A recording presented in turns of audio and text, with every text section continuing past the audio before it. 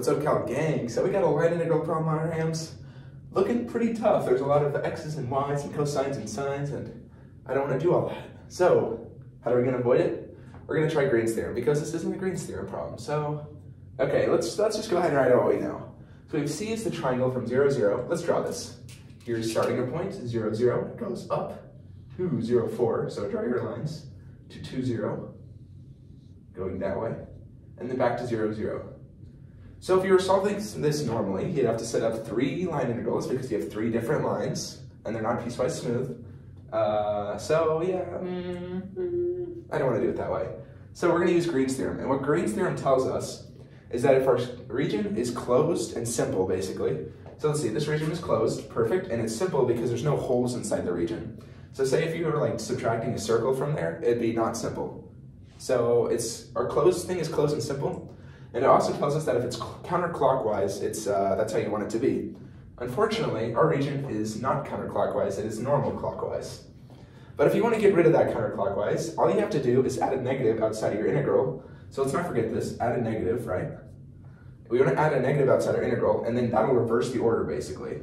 So we want it to be counterclockwise, we're going to add a negative.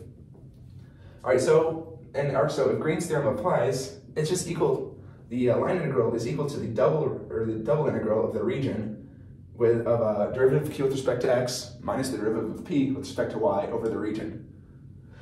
So let's go ahead and solve it. Let's see. So this is going to be equal to p, and this is going to be q, because this corresponds to x and this corresponds to y. So let's take the derivative of p with respect to uh, y. All right, where am I? Okay, good. So derivative of, let's do q first. I like to do q first with x because it comes first. So this respect to x is going to be y plus, and of course you have to do a little bit of product rule here, so it's going to be cosine of x, and then it's going to be, let's see, let's set up our little thing. So it's going to be 1 and then minus sine of x. So it's going to be cosine of x minus x sine of x, right?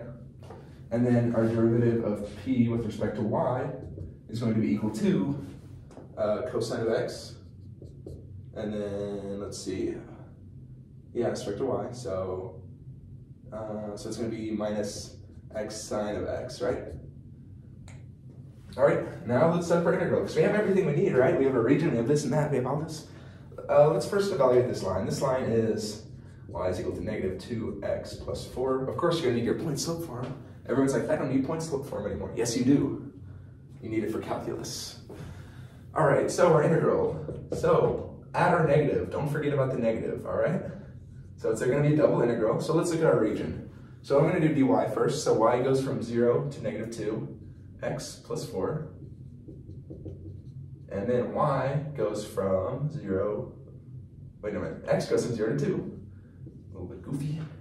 Okay, so then we have our things. So it's going to be y plus cosine of x minus x sine of x minus cosine of x plus x sine of x dy dx. Pretty cool.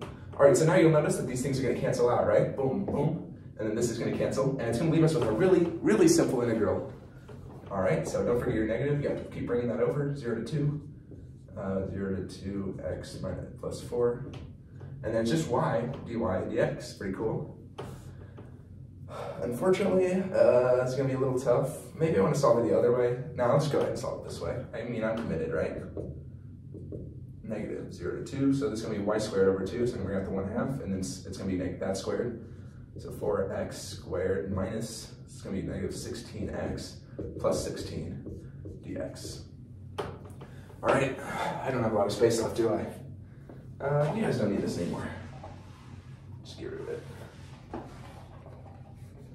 All right, moving this up here. Solve it right here. So let's simplify this a little bit and then we can solve it. Yeah, I want to simplify it. So it's going to be 2x squared minus 8x plus 8 dx, which of course is going to be equal to, oh, I forgot my negative. Yeah, I'm telling you guys, can't forget the negative. So let's integrate this to x to the third over 3 minus 4x squared plus 8x from 0 to 2. Ooh, integrals. So of course it's going to be equal to negative 16 over 3 minus, so 2 times 6 4, minus 16, then plus 16. 16s are going to cancel, and it just is going to leave you with negative 16 over 3. Final answer. That's the easy Green's theorem to solve this problem. Let's see, it took me five minutes to explain everything. It probably would have taken me at least, if it was possible, at least 30, oh, I don't even think it's possible to solve it the other way. I'm being totally honest. I don't think it's possible to solve it the other way. So yeah, this is how you solve it in five minutes instead of infinite time, because it's not possible. So yeah, uh, that's how you solve these problems. Good luck on your calc homework, and uh, enjoy. Subscribe.